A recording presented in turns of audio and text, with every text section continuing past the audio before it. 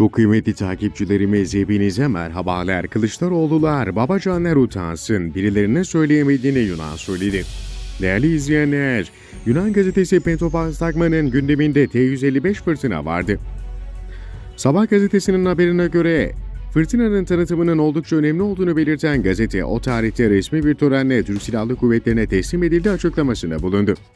Fırtınanın Fırat Kalkanı, Zeytin Dalı, Barış Pınarı ve Bahar Kalkanı başta olmak üzere pek çok operasyonda aktif görev aldığını ifade eden Pentapostagma, fırtına Türk Silahlı Kuvvetleri'nin topçu birliklerinin ayrılmaz bir parçasıdır dedi. Fırtınanın mühimmat yükleme sisteminin de yarı otomatikten tam otomatiğe getirildiğinden bahsedildi.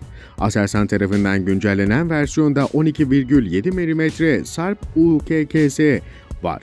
Ancak fırtınanın en önemli özelliği doğrudan ateş etme kabiliyeti sunarak kendisini önemli ölçüde koruyabiliyor olması.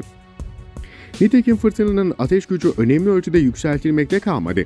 Bunun yanı sıra hareket kabiliyeti de geliştirildi.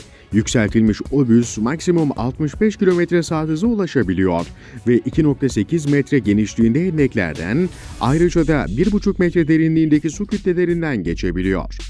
Haberimizin sonuna geldik. Sizlerden kanalımıza abone olmanızı, videolarımızı beğenmenizi ve nokta dahi olsa yorum bırakmanızı rica ediyoruz. Bir sonraki haberde buluşmak üzere, hoşçakalın.